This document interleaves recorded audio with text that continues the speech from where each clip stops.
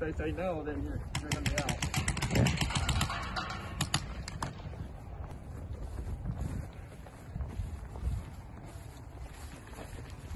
Surrender. You're out. You're out. See?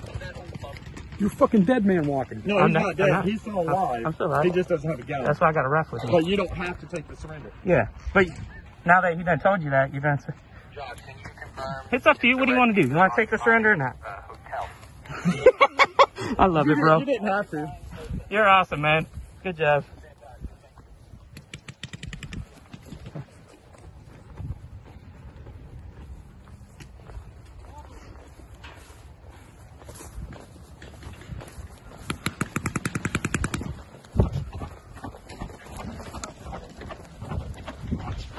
Surrender, you're out.